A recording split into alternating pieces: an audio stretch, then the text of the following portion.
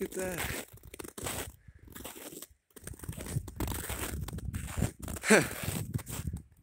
the little guy.